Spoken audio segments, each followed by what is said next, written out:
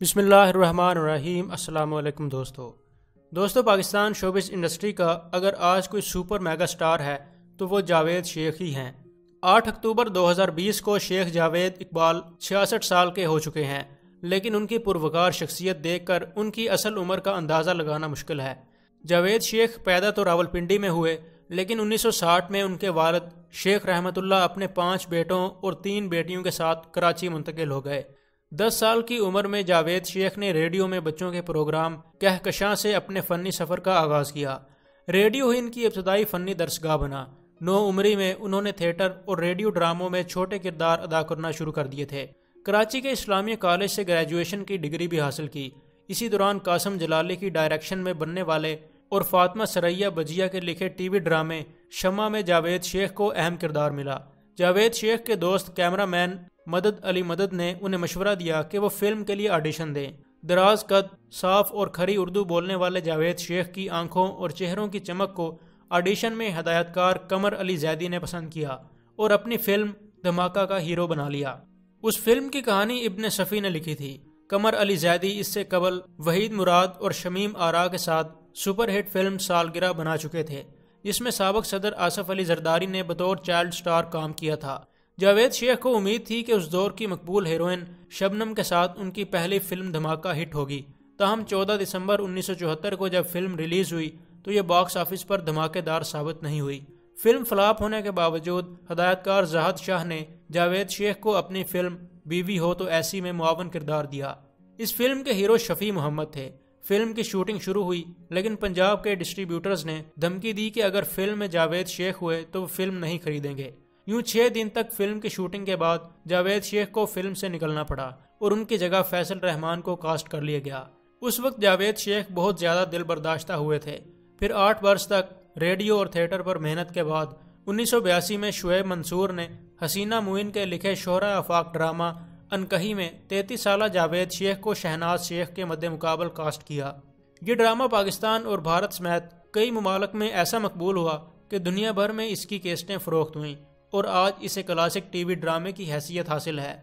बॉलीवुड के लीजेंड अदाकार दिलीप कुमार ने भी अनकही के लिए जावेद शेख की तारीफ़ की थी। अनकही की कामयाबी की वजह से फिल्मसाज नज़र शबाब ने जावेद शेख को उनकी दूसरी फ़िल्म, कभी अलविदा न कहना में कास्ट किया, जो कि सुपरहिट रही। इसके बाद जावेद शेख ने कभी पीछे मुड़कर नहीं देखा। उन्होंने टीवी पर भी बेशुमार ड्रामों में काम किया और फ़िल्मों में भी अपने फ़न का कमाल मुजाहरा किया। पीटीवी के पहले कलर ड्रामे परछाइयाँ, जिसे हसीना मुइन ने लिखा था, में भी जावेद शेख ने काम किया। इंसान और आदमी, आगही, पनाह, अधूरी कहानी नन्नी ज़िंदगी गुलजार है। मेरी बहन माया एनी की आएगी बारात, बोल मेरी मछली, और कुछ दिल ने कहा, जावेद शेख के मकबूल तरीन ड्रामे हैं। अपने तवील कैरियर में जावेद शेख ने तकरीबन 200 से जायद फ़िल्मों में काम किया है। वो अपने वक्त की तमाम ही मकबूल हीरोइंस के साथ काम कर चुके हैं। हदायतकारी के मैदान में जावेद शेख ने फ़िल्म मुश्किल से कदम रखा। इस फ़िल्म में अदाकारा नीली के साथ जावेद शेख की जोड़ी को फ़िल्म बीनों ने खूब पसंद किया। जावेद साहब ने जिन फ़िल्मों की हदायत दी, उनमें चीफ साहब यस बास, ये दिल आपका हुआ, खुले आसमान के नीचे और वजूद शामिल हैं। इन फ़िल्मों में सबसे ज़्यादा कामयाब ये दिल आपका हुआ थी। 2005 के बाद से जावेद शेख ने मुसलसल बॉलीवुड फ़िल्मों में अहम मुआवन किरदार निभाए हैं।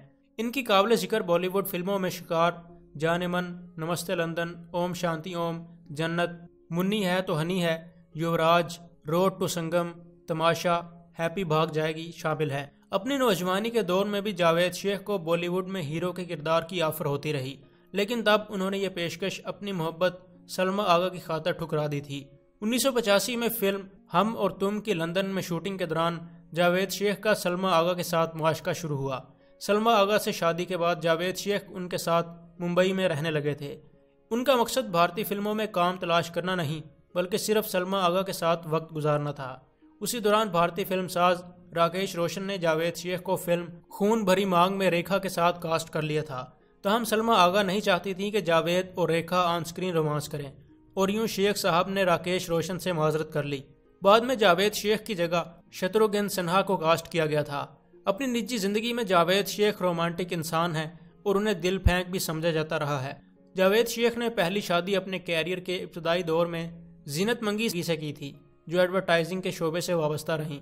जीनत मंगी से उनकी तीन औलादें हैं, शहजाद शेख, मोमल शेख और मरियम शेख। शहजाद और मोमल वालद की तरह अदाकार हैं।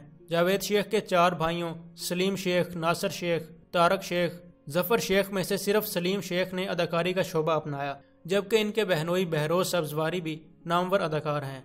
जावेद शेख की सलमा आगा से शादी ज़्यादा अरसा न चल सकी। इसके बाद अदाकारा नीली और सना के साथ भी इनके बड़े मसालेदार मुआशके मंजरेआम पर आए। आज भी वो अपनी सबका मोहब्बतों का एतराफ़ खुले दिल से करते हुए कहते हैं कि उन्होंने मोहब्बत तो की, मगर कभी किसी का दिल नहीं दुखाया। नीली उन्हें अब तक पाकिस्तान फ़िल्म इंडस्ट्री की सबसे हसीन हीरोइन लगती हैं। नीली और जावेद शेख की शादी की अफवाहें भी बारहा गर्दिश करती रहीं। लेकिन कभी इसकी तस्दीक ना हो सकी। सना के साथ भी उनका अफेयर खूब मौजू बहस रहा, जो बिलाखिर फ़खर इमाम के साथ सना की शादी के बाद दम तोड़ गया। जावेद शेख के अंदर यूँ तो कई खूबियाँ हैं, लेकिन खुश दिली उनकी शख्सियत में सबसे नुमाया है। ज़ाती ज़िंदगी में वो खुश लबास, खुश गुफ्तार और खुश मजाज शख्सियत के हामिल हैं। वो अपने माजी को सीने से लगा कर रखते हैं। आज हर पाकिस्तानी फ़िल्म में जावेद शेख की मौजूदगी इस फ़िल्म को चार चाँद लगाने के लिए अहम समझी जाती है, जबकि ड्रामों में भी वो नज़र आते रहते हैं।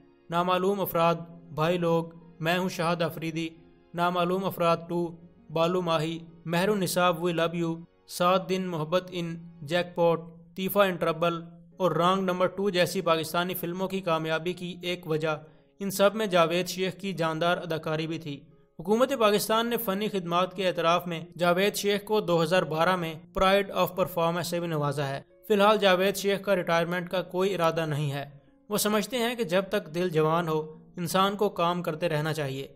यानी जावेद शेख अपनी आखिरी सांस तक फ़नी सलाहियतों से अपने चाहने वालों को महजूज करते रहेंगे।